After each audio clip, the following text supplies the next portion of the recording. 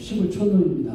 아, 제가 충남 지사 맡은 지한 2년 됐는데요. 어, 사실은 뭐 저는 정치를 하면서 어, 그 끝내려고 했고 또 저희 당이 좀 어려울 때 어려울 때 저는 또 어, 이렇게 또 이 정권을 어, 저희가 또 책임지도 몰랐고 사실은 탄핵 이후에부터 쭉 내려오면서 어, 당이 질이 밀려날 때 어, 뭔가 내 몸을 좀 던져서 던져서 당을 살릴 수 있는 보수의 가치를 추구하는 정당을 좀 살릴 수 있는 그런 길이 없을까 이런 고민을 해서 또 원내대표도 출마를 해서 어, 김기현한테 네크 차이를 좀 적고 1년 후에 이제 사실은 윤석열 대통령이 대통령이 되면서 어, 저희가 집권하는 그런 정당이 됐습니다.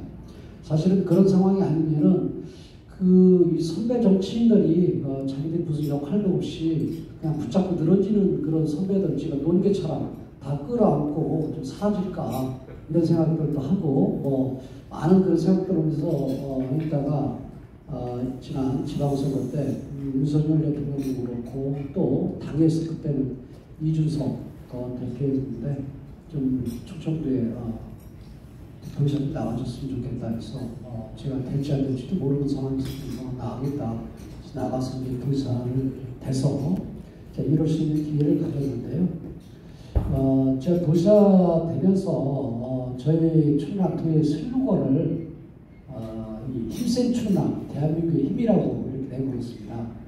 근데 힘센은 센이 부분이 이런 언론 홍, 홍보 뭐 이런 부분에는 뭐 사용할 수 있는, 있는데 사실 어법에는 맞지 않는 어, 그런 표현이거든요. 그런데 어, 힘센 충남 대한민국이라고 좋은 게 뭐냐면 저희 충청도는 좀 뭐 양반 기질, 또 염치 체면 이런 거 생각을 하다가 꼭 뒷전에 있고 또 의사 표현을 안 타가 손해 보는 경우도 많고 정말 이 경쟁에서 드리는 것도 많고 항시 그 자기 소신과 자기가 생각하는 이런 부분들을 의사 표현을 좀 쫓겨는 편이거든요.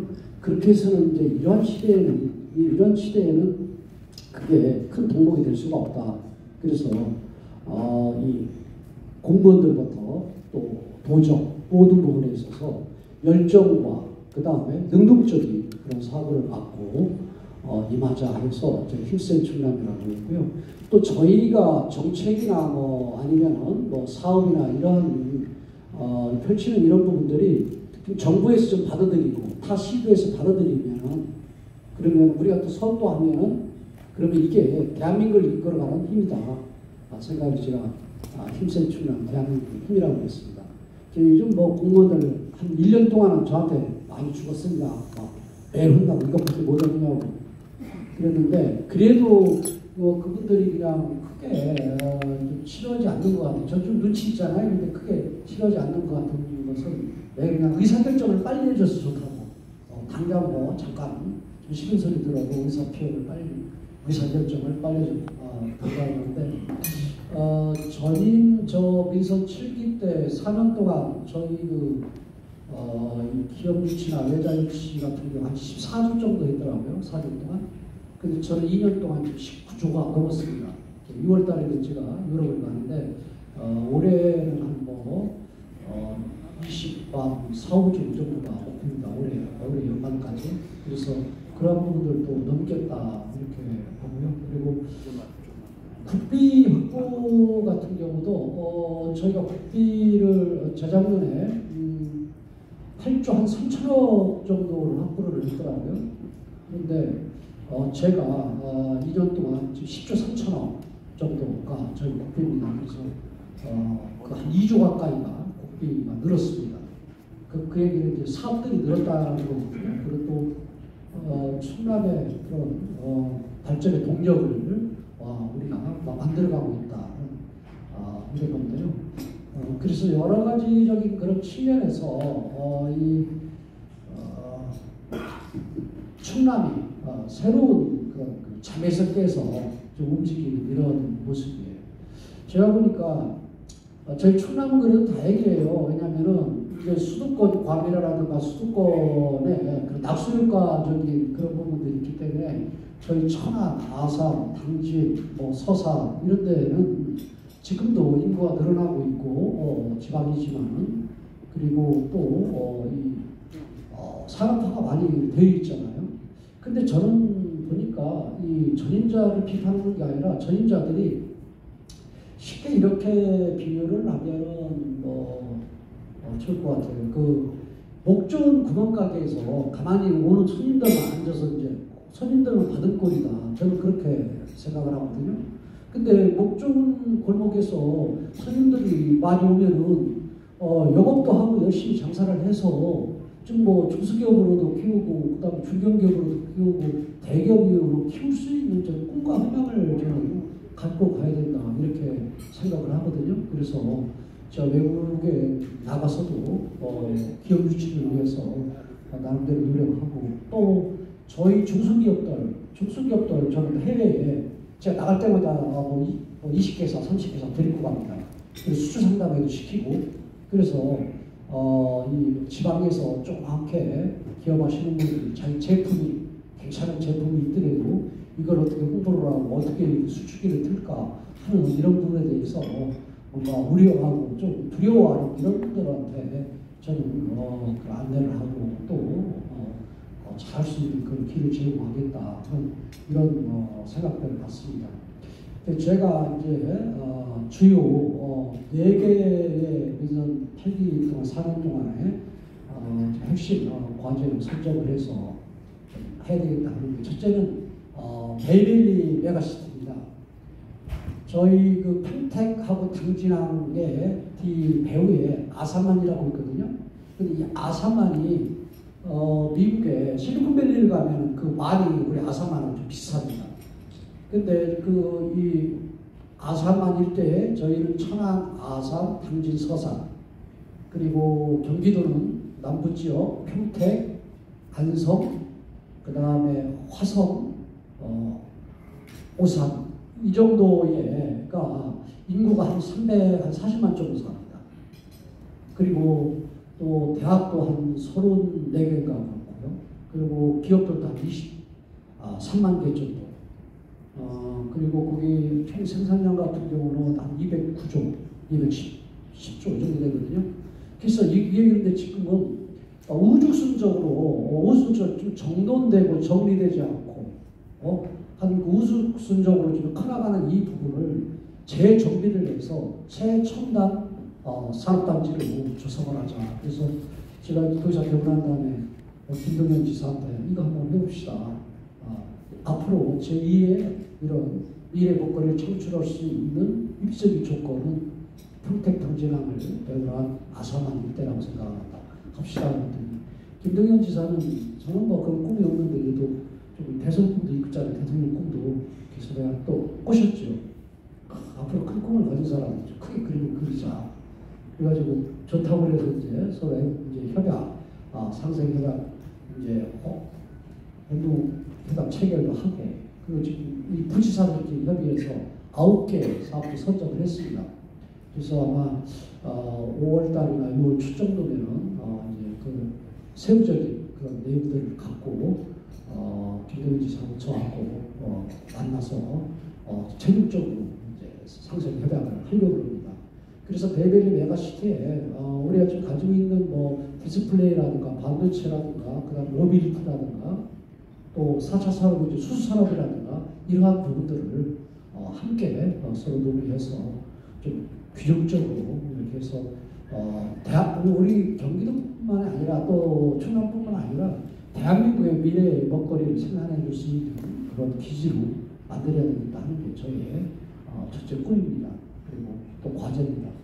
그리고 두 번째로는 아까 뭐 유진현 회장이 저, 저 Under2 연합 어, 이제 의장이라고 하는데 제가 아시아 태평양 Under2 연합 의장이거든요. 거기는 어, 이 국가도 들어와 있고 그다음에 지방 정부도 들어와 있습니다. 지방 정부라고 하는 것은 뭐 캘리포니아 주 뭐 이런 것처럼 지방 어, 들어와 있고 하는 데서 어, 제가 어, 아시아 태평양 책임을 맡고 있는데요. 사실 탄소중립 이 부분 거스를 수 없는 시대적인 과제잖아요. 음, 그럼 저는 저희 충남은 화력발전소가 아, 전국에 58개가 있는데 29개가 있어요. 반이 있어요. 반. 아, 태안, 당진, 고령, 서산, 서해안에 그리고 석영학단지 대사에 그리고 현대제철이 뭐 당진 제철. 그래서 고탄소 이 배출을 하는 그러한 그 이 어, 기업들이 어, 우리가 밀집되어 있거든요. 그렇기 때문에 불명예스럽게도 탄소 배출 그 1위에 저희께서 다 시도 중에서 근데 이러한 그 어, 도가 어, 제가 탄소중립 경제 특별도를 선포를 했습니다. 근데 왜 했냐? 얘기해서 학교 다니는데 공부 꼴찌 하는 사람이 1등 하겠다고 선언하는 거랑 똑같거든요. 그렇지만 제가 그 부분을 한 것은 이건 거스를 수 없는 시대적인 과제라면 먼저 능동적으로 이 부분에 대해서 몸으로 몸수 부닥치면서 나가자. 능동적으로 하자. 그래서 사, 아, 에너지 전환을 하는 그런 과정 속에서도 우리가 요구하고 또 우리가 필요로 하는 그러한 방향으로 나가고 그, 그 속에서 에너지 전환을 하고 또 그 에너지 전환을 되면 산업재편이 이루어져야 되잖아요. 산업재편을 하는 그런 부분도 우리가 좀 주기적으로 하자. 그리고 이제 또 새로운 신산업이 이제 이 만들어지잖아요. 탄소중립으로 갖게 되면. 그런, 그런 과정 속에서 R&D라든가 이런 부분들을 우리가 먼저 유치하자.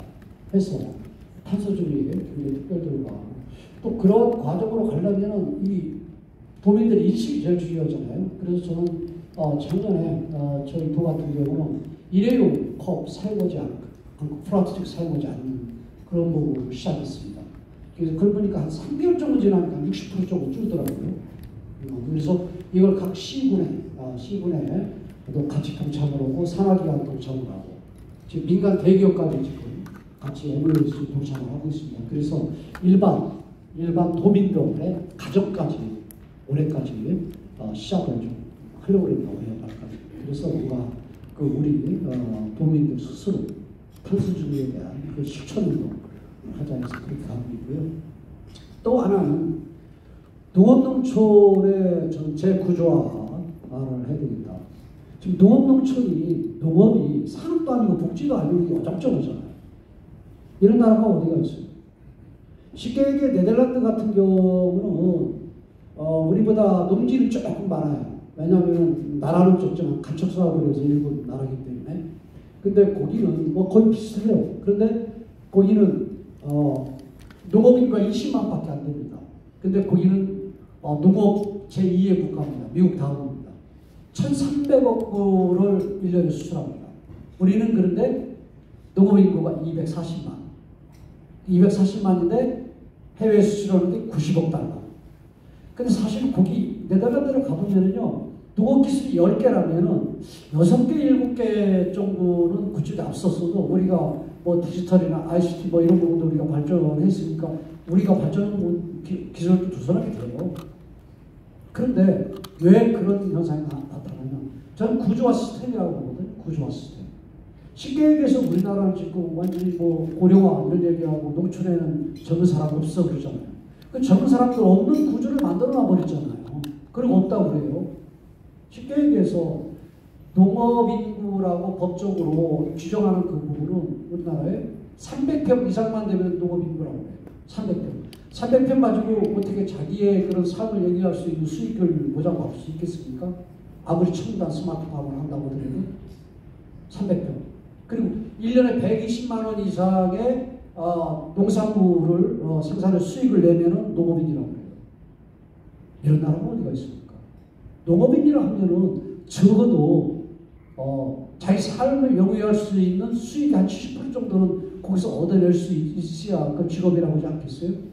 근데 이분들한테 어떻게 지금 하느냐? 1년에 120만 원씩 고깃집 직불금 줍니다. 그리고 또 농업인 수당을 또 한 110만 원 내고 100만 원 내고 120만 원 줍니다. 200 몇십만 원이죠. 거기다가 의료보험 혜택 반 줍니다. 의료보험. 거기다가 농협이나 어디나 통해서 뭐, 뭐 비료가 뭐 이런 부분도 보조해 줍니다. 300만 원 넘게 보조해 줘요. 근데 이걸 1000평 이상 정도로만 하게 되면은 34% 정도가 빠져나갑니다. 240만, 한 70만, 한 7, 80만이 빠져나갑니다. 근데 이 사람들한테 그 아까 제가 말씀드린 노벤수당 뭐 이런 부분들을 주는 부분을 합쳐 2조 가까이 됩니다. 이 2조를 농업농촌의 구조와 시스템을 바꾸는데 국가가 쓰더라도 써야지 개인별로 이렇게 주는 분. 이 얘기 나오니까 요즘 아, 잠도 안 정도로 제가 화나는데 이재명 대표가 25만 원씩 준다고 그래요. 미친 짓이에요. 25만 원씩을 걔네 주니까. 제가 그 어, 도지사 되고 난 다음에 여성 농업인 행복바우처라 해가지고 어, 1년에 20만 원씩 주는 게 있더라고요. 그거에 보니까 210억 정도 돼요. 1년에 뭐 충남 도에 주는 게 210억. 근데 못 주겠다. 그 그리고 농업인 어차피 수당 주잖아요. 못 주겠다 시군 그 여성 뭐 농업인 회장님 다 왔어요. 그래서 뭐 도에서 만나서 얘기하자. 그래서 한 30분 얘기하고 그랬는데 한 시간 반 동안 얘기했어요. 그저 무척 찔기다고 그러더니 고집 세고 그래서 이런 좋은 정책을 왜 어, 안느냐고. 그게 뭐가 좋은 정책입니까? 그랬더니 어, 가끔 그래도 그 나오면은 좀 그걸로 목욕도 가고 그 책, 어, 책도 사먹기도 하고 미용실 가서 미용도 하고 이렇게 좋은 정책을 왜 안냐고. 그래서 제가 미용실 가는 거, 목욕 가는 걸 국민 세금으로 갑니까? 네, 그랬어요. 좀, 좀 달래기는 또 해야 되잖아요. 또, 또 사회 그래서 여성들이 농업을 하는데 필요한 편의장비라든가 시군 회장 정도나 아니면 좀이 어, 앞에 리더들은 해외 선진지 견학 좀 가라. 그런 부분 내가 좀 보내줬어요. 보고 듣고 새롭게 뭔가 어떻게 가야 될 것인가 고민 한번 해라. 그런 비용은 내가 주겠다. 그래서 좀 전화하고 그랬어요. 아, 그러면 뭐, 그러니까 도의원들 뭐 이런 사람들 와서 아, 지역 돌아다니다 보니까 도의사님, 아, 여성들이 뭐, 그거 안 준다고 그것 좀 달라고 그러는데 그것 좀 다시 하지. 그럼에도 불구하고 안 했어요. 210억 바꿨어요. 그래서 210억 세이브를 시켰어요.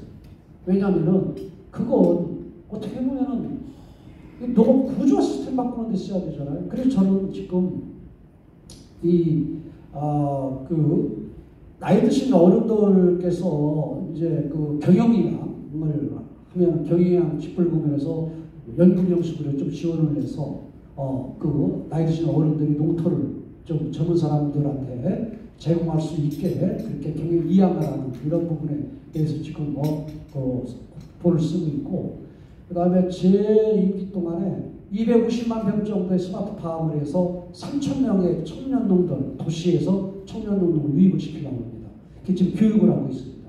이런 변화를 줘서 농업 농촌의 구조와 시스템을 바꾸겠다 하는 게 제 세 번째입니다. 그리고 네 번째로는 예를 저출산 뭐 저출생 뭐 이런 얘기 하잖아요. 그 제가 볼 때는 뭐 국가에서 지금 내놓는 것도 제가 볼 때는 다 볼 때는 효율적이지 않은 그 젊은 사람들 헛방이 헛방. 그리고 또 이 이제 국회의원 선거 때니까 각그 정당에서 그 내놓는 것도 뭐 비효율적이고 적극적이고 그런데 하여간 이번 국회의원 선거 때 어, 이그 양 정당이 각 당이 내놓는 저출산 저출산 그런 정책을 내놓는다는 자체가 뭔가 이제 좀 고민을 한다고 이게 그래도 그만큼나마 다행이다 저는 그렇게 생각을 하거든요. 그래서 저는 어, 이 젊은 사람들이 그 어, 아이들을 안 낳는 그 부분은 다양한 뭐 그런 부분들 요인이 있지만은 그 중에서 어, 인식 문제도 있고 근데 저는 그 중에 저는 두 가지라고 봐요. 하나는 주거 문제예요. 또 두 번째로는 아이들 돌보는 문제예요. 아이들을 있는, 예를 들어서 부부가 맞벌이를 하는데 저녁 5시까지는 그래도 봐주는 데가 있어요. 그럼 저녁 5시 이후부터는 봐주는 데가 없기 때문에 그 한 번도 그 어디 회식을 참여할 수도 없고 뭐 얼마나 불편해요. 그렇기 때문에 전 종일 그래 밤 10시까지 돌볼 수 있는 이러한 돌보는 시스템. 쉽게 얘기해서 이제는 대한민국의 정부에서 국가에서 저출산 저출생 문제를 하려면은 적어도 어, 국민들께 또 젊은 사람들한테 아이만 낳아 성인 될 때까지 국가가 책임지겠다.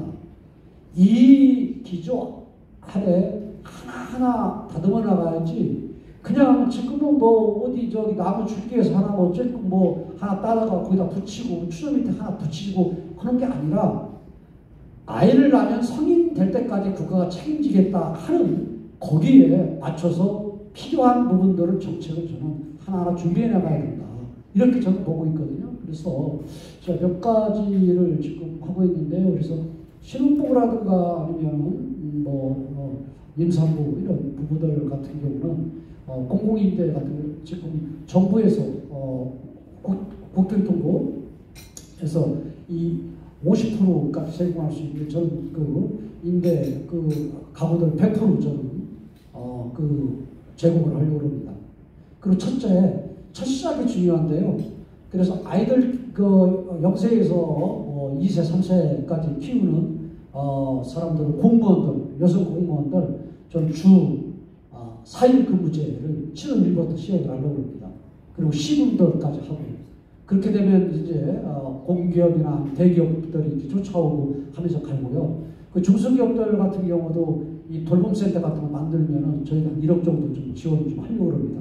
그 인건비 정도 같은 경우는 뭐 될 것 같고 그래서 이렇게 해서 아이들 저는 아이를 돌보는 문제가 제일 저는 중요하다.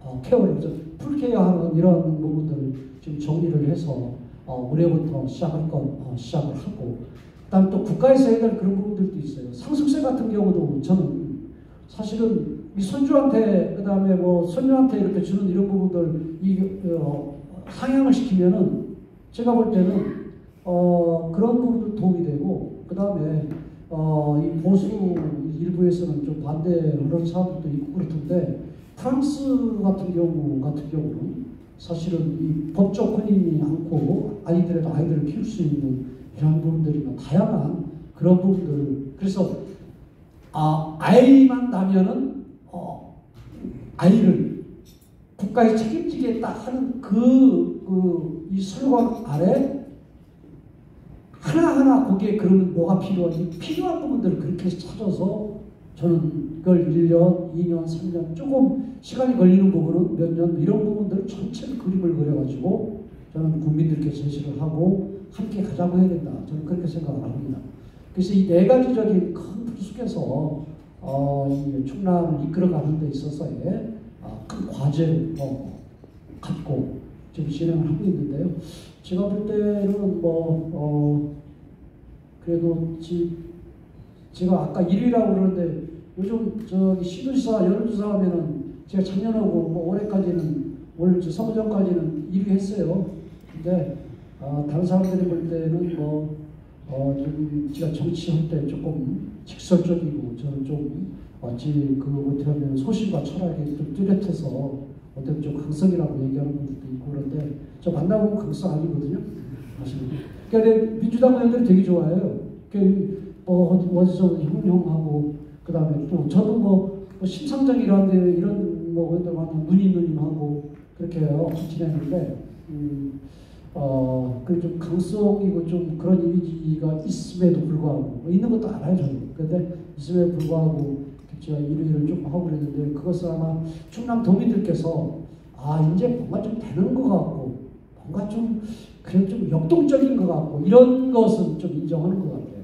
그래서 어뭐 그것도 제가 과거에 총리실에 한 6년 가까이 있으면서 정부 부처를 통화라는 아, 그 총리실이 힘은 없지만 그런 그 어떤 역할이 있는 데 아니잖아요. 그래서 거기서 저 어, 경험들도 있고 또 과거에 제가 국회 한 번 떨어지고 국회 두 번 떨어졌는데요. 국회 한 번 떨어지고 어 40대 초반 때 어, 정부 부지사를 했어요. 부지사를 해서 또 지방 행정도 제가 경험을 했고 어, 그러기 때문에 어, 그래도 나름대로 그 목표 어, 방향을 갖고 지금 제대로 가고 있다 제가 자평을 하는데요. 제가 좋아하는 말이 뭐냐면은 그 봉산계도 우수 가교라는 말이 있거든요. 그게 뭐 산을 만나면 길을 뚫고 가고 그다음 물을 만나면 다리를 놓고 건너겠다 하는 아, 그런 건데 지 스타일이 딱 맞아요. 그래서 요즘 뭐, 뭐 후배들이나 뭐 아니면은 동료 의원 했던 분들이 어그 동사하니까 어떠냐 국회의원 나가 그랬더니 야 어, 무슬에서 니들 안 봐서 좋고 그 다음에 얘보니까 바쁘기는 한데 스트레스는 없더라고. 왜 없냐고. 의사결정을 하는데 왜 없냐고. 그래서 야, 내 마음대로는 무슨 뭐저 거기서 스트레스가 있냐 그러는데 어, 사실은 어, 이 시도에서 하면서 이 나라가 걱정이에요. 도시사 하면서. 제가 외국 뭐 경주처럼 돌아다니고 뭐 하고 하면서 제가 느끼는 것은 대한민국이 지금은 제2의 점이 도약을 할 때다. 제2의 도약. 지금까지 우리 선배들이 벤치마킹하고 잘 살아보자. 그 다음에 우리 대한민국을 좀 그래도 잘 살아야 되는 거 아니야 하면서 각국의 각 분야에 다 노력을 해서 사실은 이제 선진국에 진입을 했잖아요. 과거에는 현대나 뭐 삼성이나 이 대기업들이 이제 물건 잘 만들고 그다음에 물건 품질 좋고 그다음에 세계에 알리고 하는 이 과정 속에서 아 대한민국이 전쟁을 겪은 나라고 그러는데 못 살았던 나라인데 이제 좀 잘 사는 나라가 되는가 보다 이런 상황이었다가 지금 한류문화가 이제 세계를 이제 뒤엎으니까 아 내면도 좀 어? 있는 그런 나라구나 진정으로 선진국이구나 이래요. 그래서 저 대사나 뭐 총영사 외국 나가면 이제 만나잖아요. 지가 왔다 보면 식사 한번 하자고 그러잖아요. 근데 그 사람들이 요즘은 외교관들이 할만하다고 해요. 그 이유가 뭐냐. 과거에는 그 나라의 지도자들을 만나려고 해도 약속을 좀 안 잡아주고 좀 여러 가지 좀 그랬는데 요즘은 자기들이 만나자고 한단 말이에요. 그만큼 국가의 위상이 높아졌습니다. 근데 지금 제2의 점핑을 해야 되는 게 뭐냐면은 아까 축구 얘기도 하고 그랬는데 오늘 새벽에 인도네시아한테 쳤잖아요 축구를. 그 제가 볼 경제나 이런 부분들도 난거 걱정이에요. 지금 지, 지금은 우리가 뭐 우후죽순 쪽으로 그리고 약간 백화점식으로 그런 식으로 벤치마킹 하면서 나라의 각 분야에 성장을 해왔다면 지금은 우리 대한민국이 인구 5천만이 어느 부분이 더 장점이고 어느 부분을 더 우리가 선택과 집중을 해서 키워나갈까 하는 고민. 항시 그런 부분들은 세계를 이끌어갈까 하는 이끌어갈 수 있습니다. 지금 중국한테 이것저것 다 밀리잖아요. 다 따로. 그래서 저는 이런 선택과 집중 이런 부분들을 정리하고 고민하면서 대한민국 하나가 돼서 나아가야 되는데 지금 국회가 이런 젊은 들들이 개판이잖아요. 정치가 개판이잖아요. 그렇잖아요. 저는 이번 선거를 보면서도 아 이거 대한민국에 미래가 없다 이런 부분들이 아 괜히 저 윤석열 대통령이 어, 3년 남았거든요. 3년 남았는데 이번 선거의 결과는 그거거든요.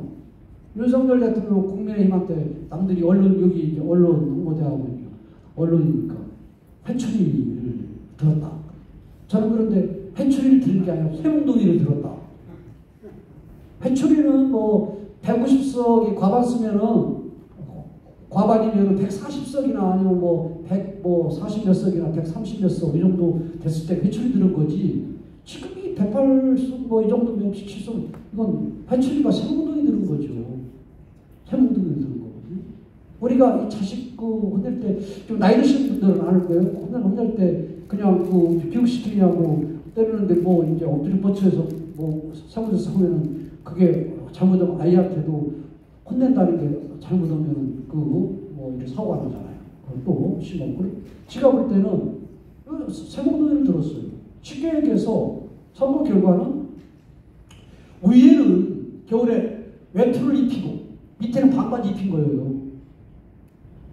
지금 나라의 그런 정치, 정치가 어차피 의사결정을 하잖아요. 국가결정. 이렇게 된 거예요. 이건요, 국가로서도 불행한 거고, 국민들로서도 아무리 화가 났다고 하더라도 결과론적인 측면은 꼭뭐 이러라고 각자가 상의한 건 아니니까 엄청 많이. 그렇지만 결과론적으로 볼 때는 저는 어, 이 국가 미래에 대해서 진짜 걱정이고, 진짜 아무래요. 그래서 그런데 그럼 이런 현상이 왜 왔을까? 뭐 윤석열 대통령의 국정 운영 방향 같은 경우는 맞다고 생각하는데 저도 정치하지만은 이 저 대부분이 감성이 이성보다 더 많이 지배해요. 이 감성적인 이 부분들을 어떻게 어루만지면서 갈 것이냐 하는 이런 고민도 이런 부분들에 대해서는 저는 좀 부족했다. 이걸 뭐 여러 가지 뭐 언론에서는 다양한 의사 저기 어, 단어로 표현하던데 전 그런 부분들이 조금 안타까운 이런 부분들. 근데 사실은 국민이 그런 걸 뽑았어요. 왜냐면은 검찰 총장하고 막 오고 그랬는데 그- 그분한테 온 것은 어떻게 그 이 어, 매끄럽고 매너 있고 그다음 정치 오래 온 사람 노련한 이러한 부분들을 이 없을 텐데 뽑았어요. 뽑아놓고 그걸 또 요구하고 있는 거고 난 같다 이렇게 봐요. 사실. 그리고 저는 이번에 이 어, 국민의힘 같은 경우도 나는 참 그래서 제가 오죽했으면은 아 정치 한 3선 정도 했으면 10년 년 하면 아유 마음에 안 드는 사람도 그냥 늦게까지 자기 어, 능력도 안 되는 사람은 뭐 4선, 5선, 뭐 6선 붙잡고 나이 뭐70 넘을 때까지 붙잡고 있는 사람들 다 끌어안고 내 농개처럼 죽으려고 그랬겠어요. 예? 답답해요. 이 보수 이 정당, 내가 수석대 정당. 한 예를 들어서 이번 뭐 선거 같은 거 보니까 그 선거에 이 캠페인을 하는 데 있어서 캐치프레이즈도 제대로 없잖아요. 조국하고 저기 이재명이 저기 이 범죄인들 이게 뭐 시켜도 되겠냐는 이주 심판만 얘기하잖아. 그죠? 그건 딱 하나잖아요. 지금 국민들은 민생 문제하고 경제 문제하고 여러 가지 그런 문제에 대해서 우려하고 걱정하는데 그렇잖아요. 그래서 캐치프레이즈가 없고 그다음 컨트롤 타워도 없어요. 컨트롤 타워도 없는 게 4선, 5선, 아, 미안합니다. 4선, 5선 하는 놈들이 아니 저는 그 지역구는 튼튼하게 하고 나머지 뭐 초선 처음 나가는 뭐 이런 데 같은 데 지원 유세를 좀 나가지고 뭐 그래야지 지, 지역구에서 그냥 떨어질까 당선할까 꼭 베껴가지고 그냥 저 하나 살까 말까 그런 놈이 저기 다 중심인데 그렇지 않습니까? 우리 국민의힘은 그렇죠? 해서 지금 저쪽이 지금 그 국민의힘과 같습니까? 저는 이번에 어떻게 보면은 과거에는 이 뭐 정가가 있어도 그 정가는 어 대개 정치범이나 아니면 정치적으로 뭐 활동하다가 아니면은 민주화 운동 뭐 한다고 해서 하든가. 이런 적과가 있었지. 사회적인 이런 적과 있는 사람 그 다음에 이신까지 가서 대북 남은 사람 이런 사람들이 지금 이 국회 나오고 정당 만들고 이게 성원 나라냐. 이건 어떤 부분을 주냐면요. 국민들한테요. 국회의원들도 사회적인 뭐, 뭐 민주화 운동 이것도 아니고 사회 범죄 이런 사람들이 국회의원하고 뭐고 세상인데 내가 범죄를 저지르는 듯 저지르는 이건 시그널을 저는 아주 저는 나쁜 저는 시그널을 준다. 저는 그렇게 봐요. 그래서 우리도 뭐좀 하나 사람 살다 보면 뭐 그렇게 뭐 이저 저는 한번 남아봤습니다만은 뭐 저기 이, 이, 재판장에 갈 수도 있겠죠. 어? 감옥이 아니더라도 뭐 재판장에 갈 수도 있고 뭐 하겠죠. 정과 있을 수도 있고 하지만은 그러면은 공직은 공직은 물러나야죠. 그런 나라가 돼야 되는 거 아니에요? 그래서 이런 나라가 너무너무 혼란스럽다. 그리고 여기 이제 언론은 뭐 있고 내가 제가 볼 때는 여기 언론인들도 있을 텐데 첫 단추가 잘못되어진 게 되게 많아요. 우리나라에. 이 언론 노조가 왜 민주노총에 들어갑니까? 잘못됐어요. 그러니까 산별로 언론 노조로만 남든가. 쉽게 얘기해서 봐봐요. 민주노총은 정강 정책에 우리는 진보 정치를 구현하고 뭐고 이미 정치적인 이념과 같이 색깔을 띠고 그럼 그게 어 자기들 목표 지향적이고 방향이에요. 거기가 왜 언론 노조가 그 민주노총 산하로 들어갑니까? 그러면서 자기들이 객관성 있고 공정성 있다. 이 저기 기사 쓰고 그 다음에 또 자기들이 행동합니까? 잘못됐죠. 언론 노조는 언론 노조 산별로 가든가 아니면 그런 정치적인 색깔을 띠지 않은 들어가. 지금 이 나라 잘못된 게 한두 가지 아니에요. 공무원들이 또 민주노총에 들어가 있어요. 공무원은 뭐요? 헌법에 정치 중립을 지키게 되죠. 근데 공무원 노조가 민주노총에 들어가 있어요. 그냥 공무원 노조를 사면로 상황 때문에 과거 크게 하든지 아니면 자기들 입장대로 하라요. 그리고 노제 활동 왕성하게 하라요. 하지만은 첫 단추가 잘못되어지는 것 같잖아요. 이런 부분들이 너무너무 방치되어 있는 게 한두 가지가 아니에요. 국가의 지금. 이런 부분들을 하나하나 바로잡아야 되거든요. 저는 윤석열 정부가 전 방향은 모르는데 이게 지금 국민들한테 제대로 전달이 안 되고 그 다음에 어 여러 가지로 어 뭔가 매끄럽지 못한 부분이 뭐냐면은 인수위를 할 때 안철수가 인수위원장이었죠. 안철수. 예. 진짜 안철수의 매운 사람이 매운 사람이 자기가 커버 같이 합치고 인수위원장 한다 해가지고 인수위원회에서 5년 동안 정부를 이끌어가는 데 있어서의 국정 과제를 정확히 정하고 국민들이 알 정도로 국민이 알죠. 자기들만 아는 게 아니라 그리고 그 중에서도 우선순위 또 단기적인 거, 중기적인 거, 장기적인 거 세팅을 다 끝내고 가야죠. 세팅. 세팅이 끝나지 않으니까 사안 사안마다 필요할 때 그 정책이 끝 지금 뭐 어, 의사 자 확대 이런 것도 아유 진행이 도의사 해 보니까요 의사 수 부족하잖아요. 그리고 뭐 어, 필수 의료 이런 부분들은 또 턱없이 부족하고 지방 같은 거 턱없이 부족하잖아요. 우리는 소아과 병원을 이 건점을 해서 만들려고 하는데 소아과 의사가 없어서 지금 그래 돈을 더 준다고 해도 사람 구하지를 못해요. 이런 의사 수 늘려야죠. 그런데 이 과정 속에서 좀 깔끔하지가 못하잖아요. 깔끔하지가. 그리고 아, 전략과 전술이 없잖아요. 전략과 전술이. 맞습니다. 근데 그래 윤석, 윤석열 대통령 한편은 좀 약간 안타까워 죽겠어요. 그래서 저는 여기에 계신 분들께서 이 정치적인 이념과 가치를 다르게 하시는 분들도 많이 있지만은 이 대한민국이 어떻게 가야 될 것인가 하는 그런 고민 속에서는 하나 가야 된다. 하나 가야 된다. 그리고 그러한 부분에 있어서는 생각을 달리 하더라도 상대를 좀 믿어주고 좀 가르쳐야 된다. 그래야 대한민국 진짜 지금 새로운 점핑을 해야 될 때다. 어, 거의 끝나갈 무렵인 것 같은데 저는 제가 저도 저기 이 어, 충남이나 이 충청권에서는 그래도 너 저기 앞으로 충청권 대표 대통령도 나오라고 하는 사람 있어요. 저도 저 있거든요. 근데 근데 제가 그분들한테 뭐라고 얘기하냐면은 그렇죠. 지금까지 나는 그런 꿈을 안 꿨거든. 지금까지 대통령 꿈을 꾸는 놈 치고 대통령 되는 하나도 못 봤다. 그렇잖아요. 뭐 문재인 같은 경우 노무현 대통령이 이 너는 정치원 어, 스타일이 아니니까 그런 정치원서 아니는데 정치하지 말라고 그랬는데 뭐 대통령 됐잖아요. 뭐 윤석열 대통령 1, 2년 만에 대통령 됐잖아요. 요즘은 뭐 지금 대통령 나온다는 사람 이재명 같은 오래 정치한 사람은 사실 아니잖아요. 그리고 또 여기 저, 저 한동훈이도 지금 뭐 검찰하다 나와가지고 지금 내가 볼때 대통령 병 걸린 것 같던데 그렇잖아요. 근데 뭐 오래 오래 정치한 사람들은 인기 별로 없잖아요. 그래서 내가 속으로 그래 아, 홍준표 아, 마지막까지 뭐 대통령 한번 해볼까 해가지고 저렇게 하는데 아이고 안타깝다. 좀 대통령 되지 못했네.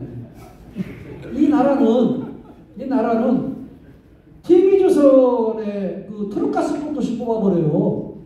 그래서 대통령을 그 정치 오래 한 사람 될 수가 없어요.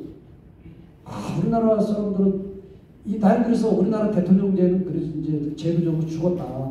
대학제로 가야 된다. 왜냐하면은 정치를 오래 했던 국회의원들 중에서 그래도 어, 인정하는 인정하는 그런 대표, 그 다음 인정하는 이런 사람이 수상이 되고 장관이 되고 그래야 안정감이 가는 거지. 그 정치하다 보면은요, 생각과 차이 때문에요. 김태형이 나쁜 놈이겠어요. 뭐 학생이 누구한테 뭐 내가 뭐 꼭 소리 지르고 해가지고 누구를 나쁘게 한 것도 아니잖아요. 그런데 그 이 가치와 이념적으로 또 생각을 달려는 분들 때문에 어차피 조금씩 비판을 받고 뭐하고 그래가지고 조금씩 흠집을 뭐 흠집 못했던 일을 만들어줘요. 그렇지만은 큰 고목나무가 여기저기 흠집이 있더라도 그 그늘을 지고 크게 뭔가 성장한 이런 사람을 국가 지도자로 뽑아야 안정감이 있는 거거든요. 그래서 진짜 여러분들도 새 리더들이시잖아요. 새 리더들이시니까 좀이 대한민국을 좀 전체를 큰 틀 속에서 좀 보면서 이렇게 함께 갔으면 좋겠다 하는 생각을. 저도 그래서 꿈 안 꿔요. 될 수 없어요. 그래서 어, 그래서 그러면 꿈 안 꾸면 어떻게 해야 되느냐? 어 이제 자리야 저는 이제 남은 것은 뭐 예를 들어 총무이나 뭐 누가 뭐 없다고도 한번 해보려면 총무이 지명을 한다든가 아니면 내가 떨어지더라도 아유 나도 그냥 뭐 마지막에 정치했으니까 또 대단한 데도 뭐 대통령 한번 해볼까 하고 한번 그냥 부닥쳐보자. 이거 둘 중에 하나잖아요. 그게 한 텀이잖아요. 그 한 텀의 낭비하느니 도의사한테 주어진 역할과 책무가 있잖아요. 역할과 책무 제대로 한번 해보겠, 해보겠 다 이런 생각을 갖고 어, 도의사 생활을 합니다. 그런데 약간 여러분들께서도 좀 그 전에 저희들이 좀 부정적인 그런 이미지가 있었다면 그런 얘기 들어보니까 뭐또 그냥 뭐또 아주 그냥 뭐 음, 나쁜 사람도 아닌 것 같고 내가 생각한 것보다는 좀 아닌 것 같다 이렇게 좀 생각해 주셨으면 좋겠습니다. 고맙습니다. 네. 아, 김태훈 선장님께서 굉장히 지금 편한 자리시다 보니까 속에 있는 하시면서 강연을 마무리해 주셨습니다. 다시 한 번 박수 부탁드리겠습니다. 감사합니다. 일단 거기서 잠깐 무대에 보시고요. 무대를 잠깐 대주시고 우리 그 감사의 꽃다발이 준비가 되어 있죠? 네, 그거 좀 전달해 주시면 감사하겠습니다. 네. 에, 제가 이제 강연에 이렇게 와주셨기 때문에 네, 대표로 예, 연세대 에, 언론 프로그램 대표로 꽃다발 전달드리겠습니다. 박수 부탁드리겠습니다. 네.